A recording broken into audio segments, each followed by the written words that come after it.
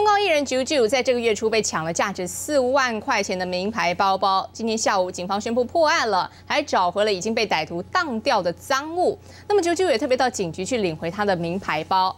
见到媒体的大阵仗，他只说自己以后不敢带名牌包了，还想要给警察来个爱的抱抱。这破案记者会俨然成了艺人的宣传会了。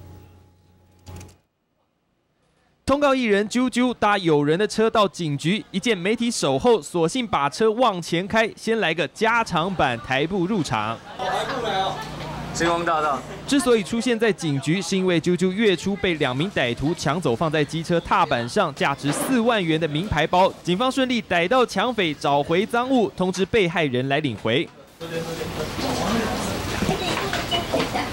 啾啾走进侦查队，嫌自己衣服穿太低，一个回头整理后再走一次。虽然只是领个包包，但身为艺人，当然做什么都要美美的。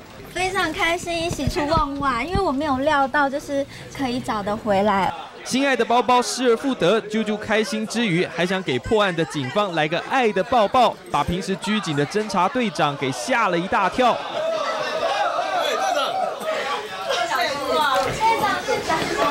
真的非常的厉害，谢谢。好，谢谢。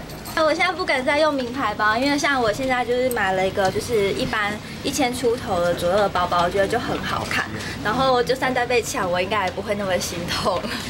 得知抢匪缺钱吸毒，专抢名牌包变卖，啾啾现在改背一千多块钱的低调平价包，只是面对媒体又是转圈圈又是走台步，破案记者会意外让啾啾赚到媒体版面。民事新闻，朝李志瑞台北报道。